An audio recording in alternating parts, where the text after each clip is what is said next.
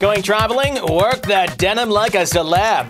Jet set pop superstar Rihanna looked comfy and cool as she sauntered through Tokyo airport in baggy jeans.